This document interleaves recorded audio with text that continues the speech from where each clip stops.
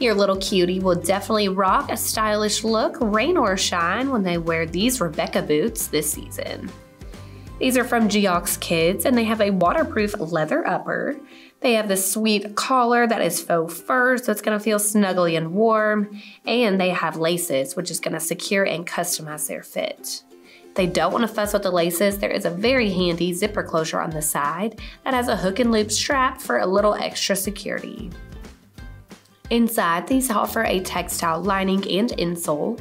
It's squishy to provide them with a lot of comfort, and it has this really cool microporous membrane. So if their foot gets sweaty, it's actually going to absorb and expel that sweat while keeping any wet elements out from the foot.